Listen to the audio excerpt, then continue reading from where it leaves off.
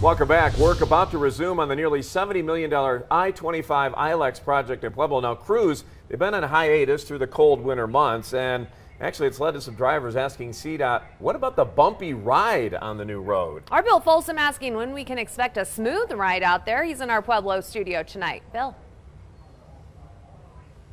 Yeah, workers have been on hold waiting for warmer days. Those days have arrived, and now there's a fast track to the finish. Drivers will see moving cone zones for about the next eight weeks. Complex engineering and construction, it all looks new and mostly complete after years of work on the I-25 ILEX project in Pueblo. Only what you see, and drivers experiencing this, gets the question, what's up with the bumps? We have those comments saying, thinking that that was the finished product.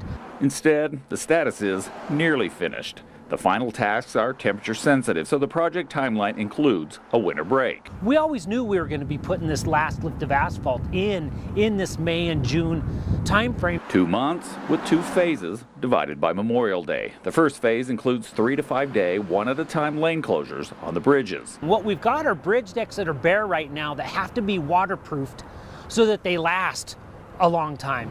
After the holiday, noticeable changes for drivers will happen in just weeks. The final smooth layer of driving surface goes down. Then we're going to start paving at night and we're going to get the whole entire mainline interstate paved at night and getting that top lift on. Drivers were used to long-term lane shifts during early phases. The warning with this final work is closures and shifts could move every few days. Then by mid-June, it's all done.